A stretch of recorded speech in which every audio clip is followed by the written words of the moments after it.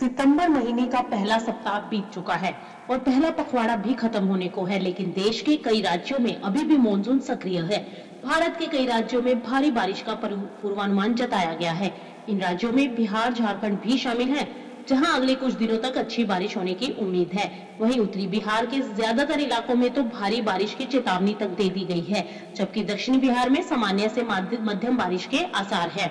मौसम विज्ञान विभाग के मुताबिक निम्न दबाव का क्षेत्र उत्तर आंध्र प्रदेश, दक्षिण उड़ीसा तटों से पश्चिम, मध्य और उससे सटे उत्तर पश्चिम बंगाल की खाड़ी पर स्थित है। इस कारण इन हिस्सों में अच्छी बारिश हो सकती है।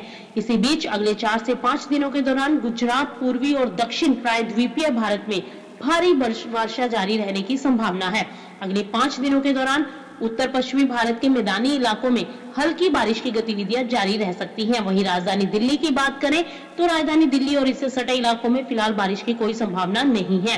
आईएमडी के मुताबिक दिल्ली में उमस भरी गर्मी का सिलसिला जारी रहेगा। वहीं राजधानी लखनऊ समेत यूपी के ज़्यादातर जिलों में फ़िलहाल बारिश की कोई संभावना नहीं है। दूसरी ओर बिहार और झारखंड में अगले कुछ दिनों तक अच्छी बारिश होने के आसार हैं। उत्तरी बिहार के अधिकतर इलाकों में भारी और दक्षिणी बिहार में सामान्य से मध्यम बारिश की संभावना है। बंगाल की खाड़ी के ऊपर बने कम दबाव क्षेत्र के अगले 48 घंटे के दौरान और अधिक शक्तिशाली होने का अनुमान लगाया गया है। इसकी वजह से पश्चिम बंगाल और झारखंड में भारी बारिश हो सकती है। भारतीय मौसम विभाग यानी आईएमजी के अनुसार राय, रायलसीमा और दक्षिण आंतरिक कर्नाटक, तटीय आंध्र प्रदेश, उत्तरी आंतरिक कर्नाटक, केरल में भारी वर्षा हो सकती है। तेज हवाएँ चलने और बिजली चमकने की भी संभावनाएँ हैं। वहीं तेलंगाना की बात की जाए तो तेलंगाना के भी कई हिस्सों में तटीय कर्नाटक में भी एक दो दिन में अच्छी बारिश होने की उम्मीद है। मौसम विज्ञान विभाग ने देश के पश्चिमी और पूर्वी हिस्सों में भारी बारिश का अंदेशा जताया है।